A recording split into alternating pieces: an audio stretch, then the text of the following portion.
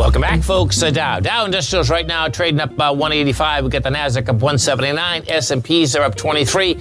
Let's go over to our man, Mr. Steve Rhodes, and kick this new year off the right way. And don't forget, folks, every trading day you can listen to Steve 1 to 2 Eastern Standard Time. Outstanding show. He also has a great newsletter, Mastering Probability. Now, it's very easy to get the newsletter, folks. Come over to our website at TFNN. You're going to go into newsletters. You're going to see it right on the top row on the right hand side. You just hit subscribe. You can get Steve's newsletter for $149 for one month. You get it for 695 for six months, which is a savings of $199 at 22%. And you can get it for the full year for 1195, which is a savings of $593 or 33%. Bottom line, folks, do yourself a favor. Get over there, get it. You enjoy it. You'll end up paying for it. Something doesn't work for you, guess what? You get your money back. You have everything to win, zero to lose. Steve Rhodes, Happy New Year. Happy New Year to you. How did we get to 2022 so quickly? Oh, baby, man. It's scary. It's scary. It's There's yeah. no doubt. There's no yeah. doubt. What a, what a crazy New Year's really crazy Christmas, New Year's season. Yeah, just was just was so I don't know. You know, it's got to be the same way. I, so I spent quite a bit of time traveling between Naples, Orlando, and, and obviously Delray Beach. And every time I drove past a, a testing center, lines were like miles long. Right. You know, just just a just a crazy. Uh, we, yeah. we ended up we ended up uh, changing our plans. You know, with with the great football that was on on New Year's Eve and everything. We're like, we'll we'll just stay home. Uh, which which was nice. But in, and I love this weekend specifically because you know if you love football, between college football and the pros out there, by, by the time I got to last night, the last game, I was kind of like, okay, I, have I've had too much football. I did the same thing, man. I, I what happened last night? I, am saying to myself, okay, I, I think I best have something wrong with me because. It started so early in the morning, folks, and all of a sudden it's 11 o'clock at night and it was just ending. I says, okay, man. Yeah. You know, yeah, exactly. I don't know if you saw it, but did you see Brady with that 97 yards in like two minutes? He had he had no timeouts. 97 yeah. yards in two minutes, folks, and he won the game. It's like insane. This guy is just like over the top, man. I mean, well, I, I, sent a text message to a good friend of mine. We we typically go down to the to the Dolphins games. Yes, and we we haven't the last couple, but uh, I said to him, you know, maybe we ought to follow the playbook of Tampa Bay. Let's get rid of Tua and let's bring Aaron Rodgers in. Yeah. You know, let's let's bring the old guys in that know how to yeah. that, that really know how to win. Um, I mean, there, there's something to be said for what you guys have done over in Tampa, for sure. Oh, there's no doubt. We just get those. I mean, if the defense holds up, man, we're going to be there. That's, I mean, yes. that's the bottom line. You know, absolutely, pretty amazing. Absolutely, yeah, absolutely. So, what do we got out here, Steve? Well, we're going to start with just simply the seasonal cycle.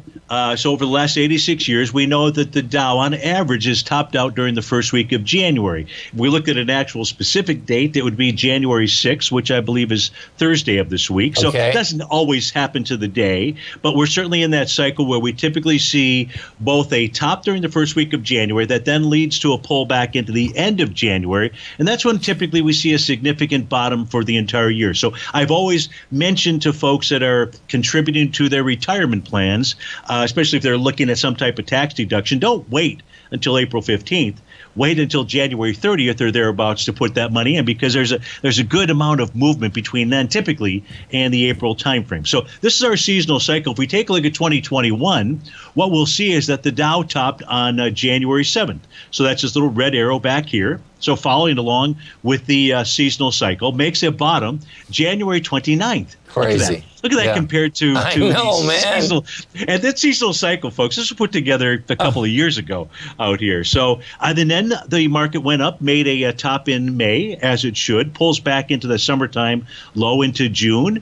And so the seasonal cycle really in 2021 uh, worked very well.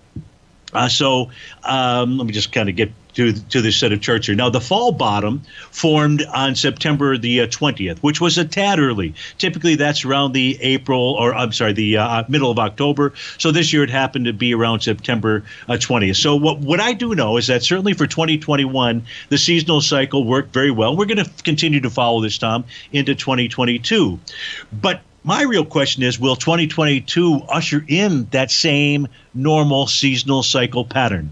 And the reason that I ask that question is because if we take a look at, and you and I, we talked about this maybe a couple of weeks ago, if we take a look at the annual charts, the yearly charts for most of the U.S. indices, what we're going to see out here is that most of these form what I refer to as a TD9 count top. That's a Tom DeMark uh, tool out here. It requires nine consecutive closes where each close of the current candle session is above the close four bars earlier. So in this case here, we're looking at the current bar versus four bars earlier. And it's kind of like running a marathon, or like running, maybe you're in a marathon, but it's like running the sprint. And you just simply run out of gas by giving it all that energy. So the Dow has a TD9 count top, the S&P has a TD9 count top, the Russell, the semiconductor index, uh, the NASDAQ composite, the New York Stock Exchange. So all of this just suggests extreme caution because of these yearly, um, because of these yearly TD9 count tops. Another reason I believe that we should be cautious is that we have volatility that has been rising for quite some time. I didn't realize this until I started working on this chart over the weekend. If we go back, now this is a weekly time frame chart, Tom, that we're looking at for this okay. spot volatility index. If we go back to the high that uh, the top that took place in 2007, we can see that there was. I'm just looking at the yellow diagonal line that we had rising volatility. Now that's typically what we will see when we see some kind of a retracement, some type of a pullback, some type of a short-term or long-term top top out here? Well, take us back into the 2018 time period. We can see that and this is just on a closing basis that we have that same rising bottoms pattern inside the spot volatility. So this makes the hair on the back, if I had any hair on the back of my neck, really kind of stand up here. So it says caution.